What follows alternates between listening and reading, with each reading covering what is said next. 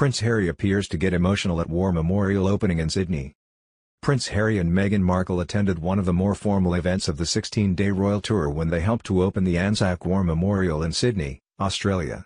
Some have speculated that the Duke of Sussex, dressed in full military regalia, got emotional during the ceremony which commemorated Australians and New Zealanders who have died in armed combat.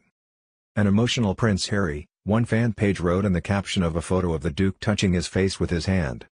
As People magazine notes, at one point during the ceremony, a choir sang, I Vow to Thee My Country, which was one of the late Princess Diana's favorite songs. In the comments of several posts of the photo on Instagram, commenters suggested that Harry may have been emotional because of that. It seems that given the gravity of the occasion, Harry and Meghan decided to avoid the usual public displays of affection that we've come to expect of them. The Duke and Duchess carried a wreath together and placed it on a stand on the memorial stairs, and they were both serious as they did so. They also toured the new education and interpretation facilities and the Hall of Silence, which features a large sculpture called Sacrifice. But the two walked separately and never held hands. According to People, Meghan wore a black Camilla button-wool crepe dress from a New Zealand designer named Emilia Wickstead.